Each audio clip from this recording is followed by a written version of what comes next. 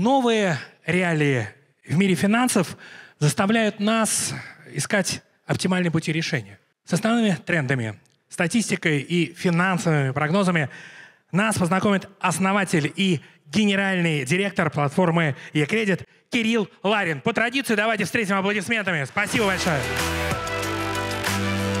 Наконец-то смогли вот как надо. Спасибо. Всем привет. Значит, я, знаете, меня зовут Кирилл Ларин. Платформа e-кредит – это решение, IT-решение, которое помогает дилерам продавать автомобили в кредит. Быстро, качественно, выгодно, доходно. Но свое выступление я хочу начать с того, что я хочу вас попросить поаплодировать одному очень важному человеку, который сидит в аудитории. Ее зовут Софья. И это человек, который в 2 часа ночи вносил изменения в мою презентацию. Давайте просто поаплодируем. Спасибо тебе большое. И прямо очень-очень круто. Также я хотел сказать, у меня вот тут вот слева на первом ряду сидят мои краши. Это мой фан-клуб. Эти, по-моему, ребята посещают все мои выступления, я не знаю. Либо потому, что им Дани Первухин приплачивает, я без понятия. Значит, смотрите, теперь все серьезно, я собрался. Следующая история. У нас наступает с вами скоро 2024 год.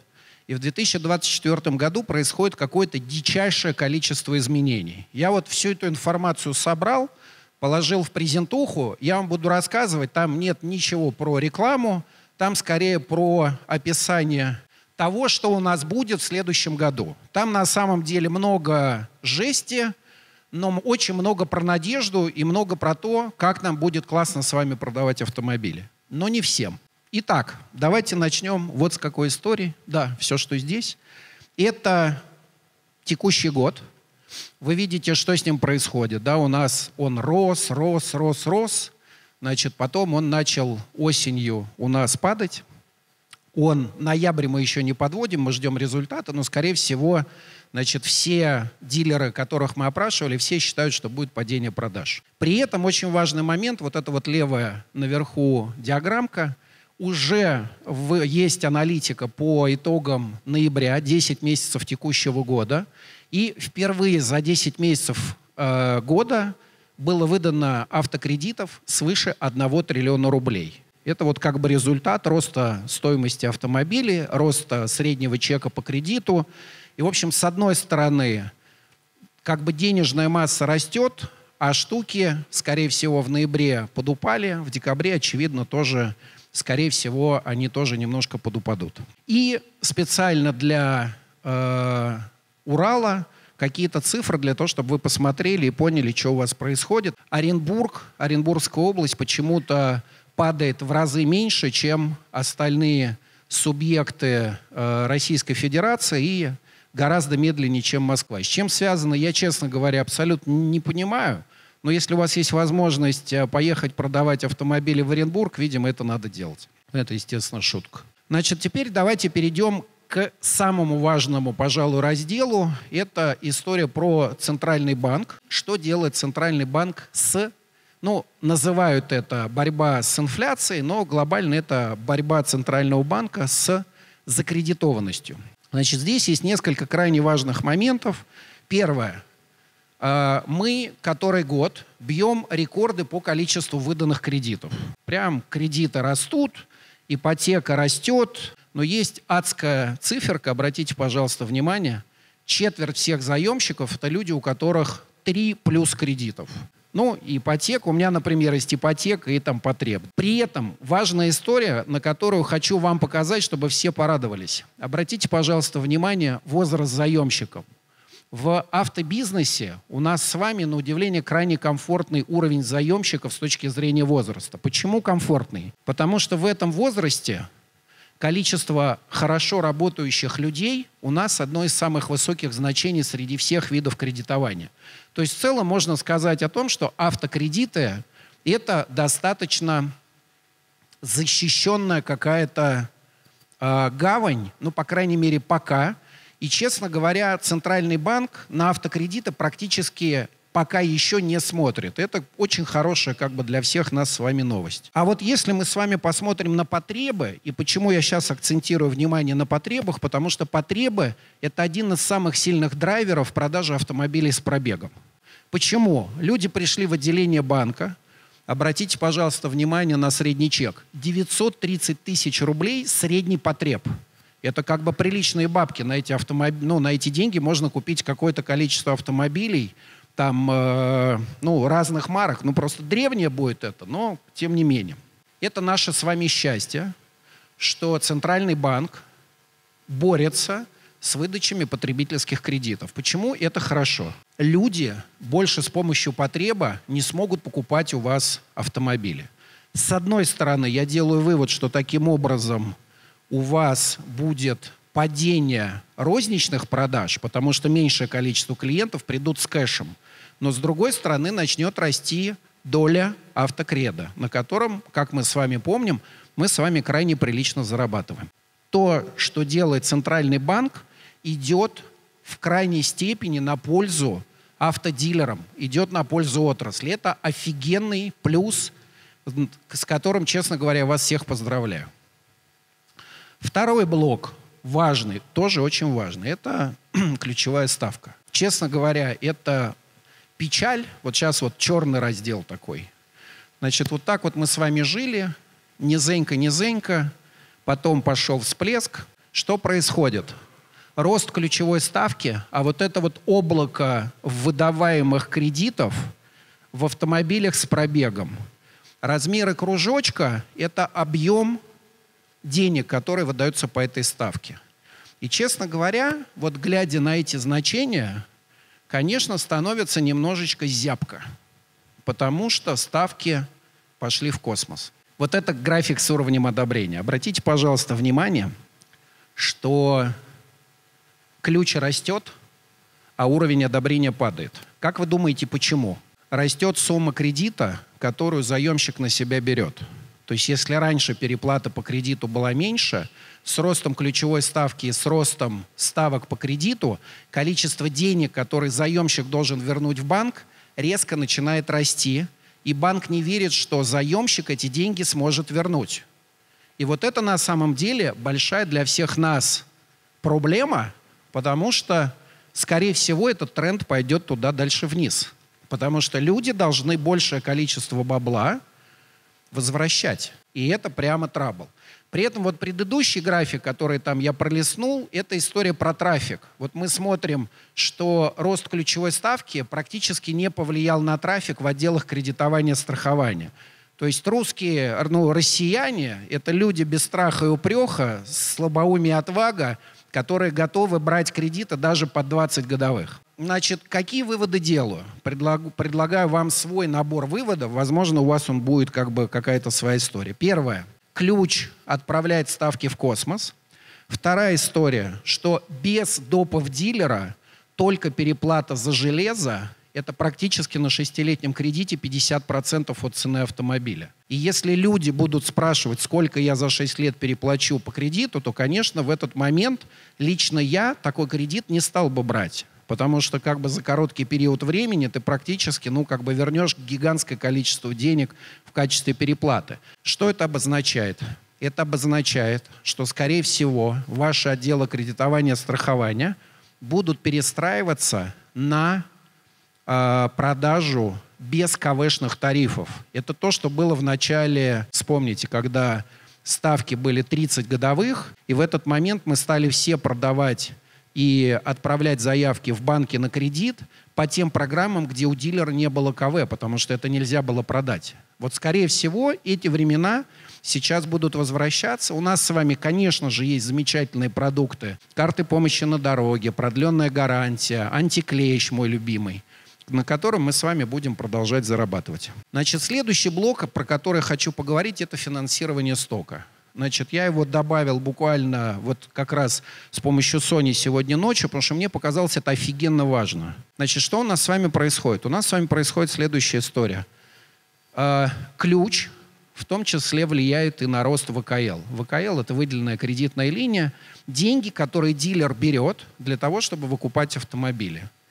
И вот, честно говоря, что с этим происходит, я даже не могу себе представить. При этом это касается как новых автомобилей, так и автомобилей с пробегом. Но в новых ситуация, на мой взгляд, будет чуть хуже, потому что есть дольший срок экспонирования, нежели чем в пробеге. Но тут, возможно, вы скажете как-то более авторитетно, прав я или нет. Но, тем не менее, рост стоимости содержания стока будет расти, и он продолжит этот рост. Это большая проблема. Идем дальше. Немножко поговорю про льготные автокредиты. Вот эта вот табличка – это самый кайф. Обращаю ваше внимание, на 2024 год государство запланировало 17,3 миллиарда рублей для субсидирования льготного автокредитования. Это очень важная цифра, потому что в прошлом году, в текущем году, это всего 6,3, которые были разбиты на два периода. Так вот, скорость, с которой э, банки выдали льготный автокред в 2023 году было следующее. 5 миллиардов было выдано за полтора-два месяца. 17 миллиардов примерно будут тратиться месяцев 7. Это очень важный момент. Почему? Потому что 24 год – это будет год новых автомобилей. Почему? Потому что АвтоВАЗ, Джиллион, субсидия со стороны государства. Естественно, что Черри естественно, Джили, естественно, Хавал будут субсидировать свои кредитные ставки. И вот я не успел сделать это домашнее задание, но мы с э, моими крашами сидели за столом и считали эту историю, что если на выбор э, Черри Тига 8 Pro Max или BMW 2014 года, то BMW 2014 года продать практически невозможно, потому что черри с э, субсидией автопроизводителя становится выгоднее, хотя там разница в цене автомобиля примерно миллион триста тысяч. То есть с этой точки зрения, мне кажется, ближайшие 6-7 месяцев 2024 года для рынка автомобилей с пробегом, скорее всего, будут очень непростой период – потому что как бы будет атака на стимулирование продаж новых автомобилей. Идем дальше. 353 федеральный закон, он наступает с 1 января, ну там какая-то часть заступает чуть позже. Это федеральный закон о потребительском кредитовании. Что здесь нас с вами ожидает? Есть некоторое количество изменений, которые теперь банки будут вынуждены делать при работе с допами, который дилера продает. Здесь есть и увеличенный срок охлаждения, здесь есть такая мерзость, как то, что банк обязан на следующий день после выдачи кредита уведомить заемщика о способах, как он может расторгнуть допы, которые ему продал дилер. И банк обязан это делать. Или, например, еще одна очень сильная, на мой взгляд, штукенция, что если сейчас заемщик должен сначала сходить там в к дилеру, условно говоря, то начиная с 2024 года он сразу идет в банк, и банк обязан ему полностью все вернуть, исходя из тех допов, которые дилер напихал. Какие выводы делаю?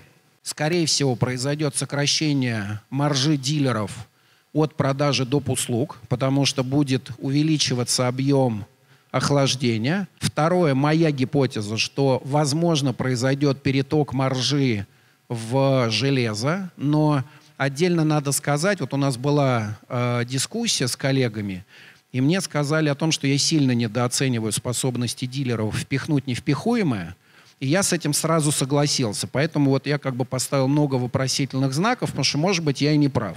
И третье, мне кажется, что если произойдет переток маржи в железо, то, очевидно, пойдет рост стоимости автомобилей. Но я могу быть неправ резюмирую 24 год и того, к чему нам с вами надо быть готовыми.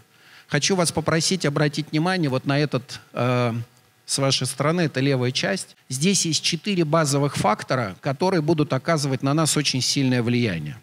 Первая история – это рост ключевой ставки. Рост ключевой ставки увеличивает ставки по автокредитам, которые будут, соответственно, нам тяжелее будет их продавать. Вторая история – это борьба Э, центрального банка с э, инфляцией слэш-кредитами, да, потому что потребы будут дальше сжиматься. Третья история – это борьба ЦБ с дилерами и с теми допами, которые мы с вами продаем в тело кредита. Ну и четвертая история – это, собственно говоря, а, льготные автокредиты.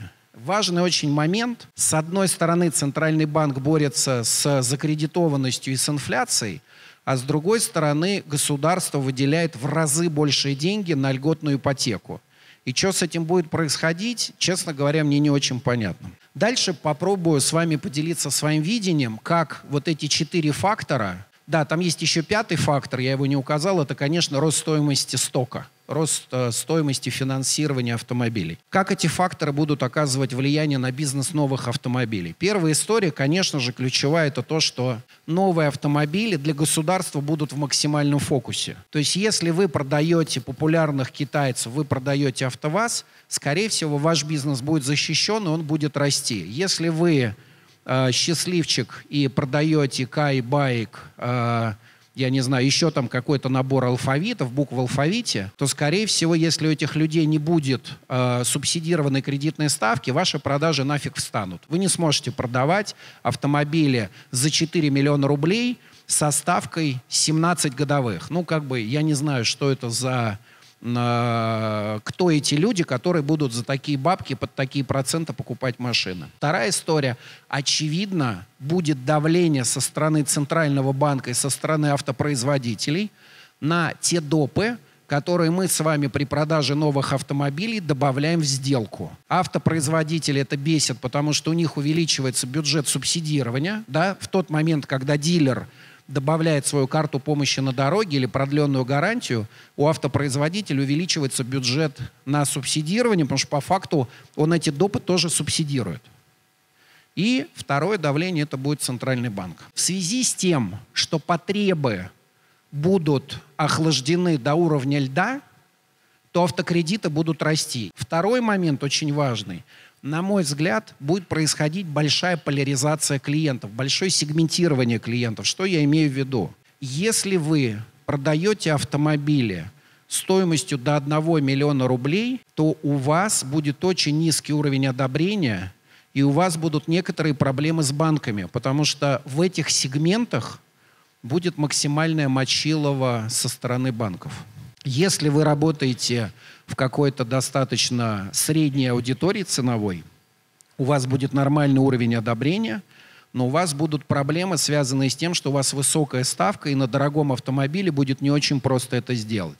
Поэтому, скорее всего, вы пойдете в какой-то сегмент либо без КВшных тарифов, либо вы пойдете э, договариваться с банками, что вы будете им субсидировать кредитную ставку, чтобы вы могли делать свой маркетинг на 11 годовых, 12 годовых, 13 годовых, чтобы как-то продавать свои автомобили. Ну и вот третий вывод – это то, что клиенты с низкими доходами, честно говоря, это прям практически будет э, выжженная земля, потребов у них нету, автокредиты им будет очень тяжело получить. Что в этой ситуации делать э, дилерам?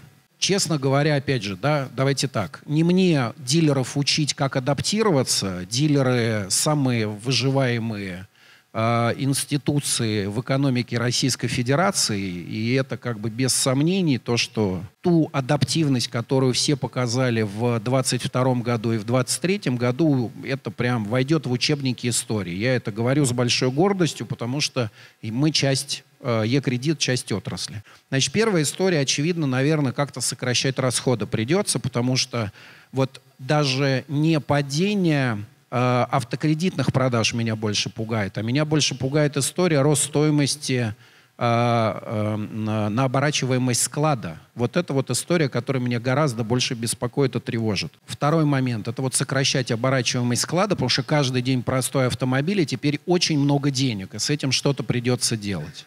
И третья история, это, конечно, ну, здесь сорянчик, выгодоприобретатель в этой истории Е-кредит, потому что мы вам помогаем работать сразу с большим количеством банков, но вам нужно увеличивать количество банков. Если вы сейчас работаете с 10 банками в пробеге, это мало. У вас должно быть 15 банков, у вас должно быть 17 банков, у вас должно быть просто все банки. Потому что уровень одобрения будет сокращаться. И вам для того, чтобы получать высокий уровень одобрения, надо отправлять клиента просто веером всюду, где только можно и где нельзя. Более того, я могу сейчас сказать о том, что в банках тоже есть свои проблемы, например, связанные с ликвидностью. И, в общем-то, банки говорят о том, что 2024 год для банков – это год капитала. У банков есть проблемы с ликвидностью, для них закрыты внешние рынки. Центральный банк изменил методологию расчета ликвидности, по которой вдруг, например, в один день практически все банки стали недокапитализированными. И внутри банков идет существенная борьба, куда дать деньги, потому что денег мало. То ли в ипотеку, то ли в потребы, за которые бьется Эльвира Сахибзадовна, то ли дать в автокредиты, то ли дать в корпората. И там вообще все в полном порядке. И вот с этой точки зрения каждый банк будет очень активно работать над тем, чтобы автокредиты были максимально эффективны. Это значит, что к вам пойдут регионалы банков, которые будут от вас требовать выполнения плана, которые будут давать вам какую-то повышенную комиссию только при условии, что вы выполняете этот план, потому что проблемы с капиталом. Ну и здесь, возможно, вы допишете какие-то свои собственные да, там, советы, идеи, что, сами себе посоветуете, что с этим надо делать, как адаптироваться к 2024 году. Хочу напомнить, что у нас есть замечательный телеграм-канал, в который мы выложим эту презентацию. Она будет только там и она будет только для тех, кто подписался на телеграм-канал. Сорян, ребята, это небольшой шантаж, ну как бы, а как еще работать, да? Короче, спасибо вам за внимание. Я надеюсь, я вас не очень всех загрузил, но следующий год у нас будет крайне интересный, крутой, и, как всегда, только самые профессиональные чуваки заработают очень много бабла. Чего я вам всем желаю, давайте зарабатывать много денег. Я вот здесь э, стоял, стоял, слушал и понимаю, что 24-й будет просто красава. Такой Крас, прям, да? Красава, вообще сто процентов. Да. Вот. Э, Только когда спокойно жить, понимаешь, вот в чем как бы. Э, будут ли еще поднимать цены на Е-кредит? Ну, в связи с тем, что в 24-м вообще на все поднимается, вот, как вы вот. Спасибо за ответ. Понятно. Все. Видите, как правильно, банкиры они такие. К чему приведут субсидии? Продажи Джиллиона и Москвича вырастут, что же нам делать с черри? Пояса затягивать? Слушайте, ну черри без сомнений, черри будут продаваться, будут продаваться у черри э, на мой взгляд, это самая крутая марка с точки зрения кредитной программы. Для тех, кто не знает, э, доля кредитных продаж Черри в 2023 году достигала 80%, а в Иксиде это было чуть ли не 90%. Покажите, пожалуйста, хоть один бренд, где люди, ну, как бы делают такие кредитные продукты, которые так разгоняют продажи. Поэтому точно Черри будет продаваться, Exit будет продаваться, Амода будет продаваться, Джику будет продаваться, я не знаю, Панга, естественно, будет продаваться. Поэтому сомнений нету. Может, у Екредит есть новые продукты? Расскажите об этом. Мы все работаем упорно второй год, и я, по-моему, уже всех задрал историю про цифровую сделку. Мы запустили цифровую сделку, мы ее продолжаем к ней подключать банки. У нас есть очень простая миссия, которую мы пытаемся реализовать. Она звучит таким образом. Мы хотим дать вам инструмент, который позволит продать автомобиль в кредит – за 30 минут от консультации до оформления кредита. И вот цифровая сделка для нас это инструмент, который убирает полностью бумагу, убирает бумажное подписание документов, и оформление кредита осуществляется с помощью подписания одной смс-кой. И надо отдельно сказать, что нас э, очень поддерживают банки в этом начинании, потому что у них это не меньшая проблема. Сейчас а у нас уже готово три банка, которые мы запустили. Это «Газпром», это «Открытие», это «Совкомбанк». И у нас на ближайшие 6 месяцев расписан план интеграции, где все, в общем-то, самые крутые банки вместе с нами будут это делать. Я могу перечислить, это и Росбанк, это и Лока, это и Уралсиб, и другие достойные представители, кто профессионально разбирается в автокредитовании. Точно могу сказать, что к концу 2024 года автокредитование станет одним из самых технологичных отраслей с точки зрения скорости продажи. Почему скорость продаж важна? Ну, давайте просто поделюсь своим видением, потому что наши с вами продажи – это суббота и воскресенье, И когда клиент приезжает днем по дороге из, биз, там, из торгового центра, у нас с вами есть два часа, когда надо продать автомобиль. Вот мы делаем все, чтобы, когда к вам пришла электричка, вы эту электричку очень быстренько могли обслужить и все, что надо продать. И еще, э, я думаю, что этот вопрос вообще всех интересует. Такой жесткий инсайт. Какие банки крякнут в 2024? Никакие. Все банки будут жить, у всех банков будет все прекрасно, и банки продолжат зарабатывать. Просто еще раз им будет... Банки на самом деле очень профессиональные ребята. Очень профессиональные ребята. Да, они, может быть, где-то забюрократизированы, где-то еще чего-то, но абсолютно точно я уверен, что ни у одного банка в автокредитовании точно проблем не будет. Спасибо большое за внимание. Я надеюсь, я не очень сильно всех загрузил. Спасибо, пока-пока.